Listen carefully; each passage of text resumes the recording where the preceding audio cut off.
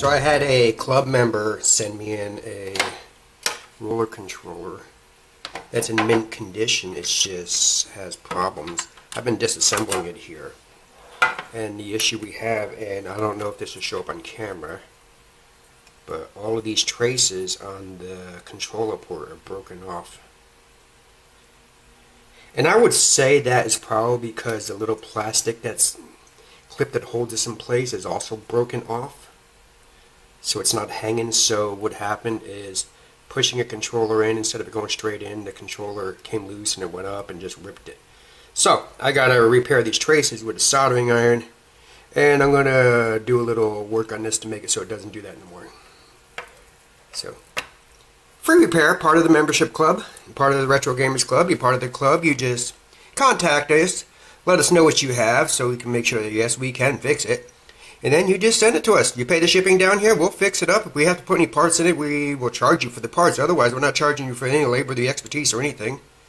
Take it apart, fix it, test it, let you know it's done, PayPal you the amount that it's going to cost to ship it back, and send it back to you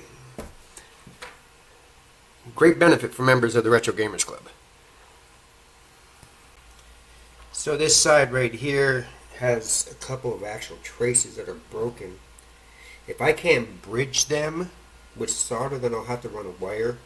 But in either case, it's fixable. It's only like a minute break there, so I'm going to fix that. Alright, applying a little bit of solder did not fix the trace, which I didn't think it would. I was just hoping I could get around it. So I'm going to do is I'm going to take some old diodes. I'm just going to use the wires, not the diodes. I'll do trimming them off. But I'm going to just bridge between the two. Like that. Just to create a new permanent trace. Alright, so as you can see, I bridged all the bad connections. This one, this one right here doesn't connect anything, so I'm not concerned about it. Neither does that one. This one is the only other one that the trace is broken and I was able to reconnect it with the trace and the pad so I didn't have to run a wire over to here. But these right here have all been rebuilt using just the end of a diode, soldered on, trimmed off.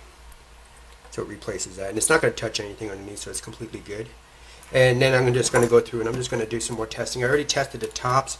I'm going to test it from underneath here just for continuity, I'm going to go from this one right here. Again, it likes some more. Down there, good connection. This one, good connection. This one, good connection. Good connection. Good connection. Now this is one. Good connection. And this, oh, I'm sorry, I guess should go from over here. This one, good connection. And this one, right here, good connection. So all the wires are connected now, so this controller plug is now functional again.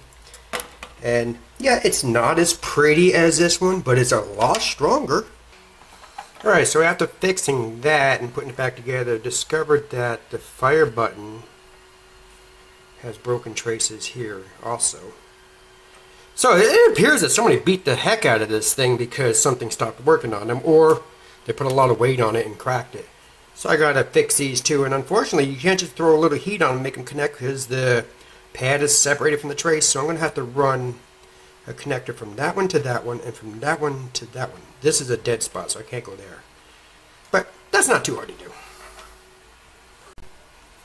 Alright, so as you can see, I just ran two wires using the same diode wire.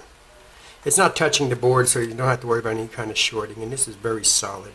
Which is probably good because this is going to get beat. This is a fire button. They don't have a lot of movement in them. That's surprising. I thought they'd have more play to them, but they don't. But yeah, now it's fixed. Now we'll put it back together and test again.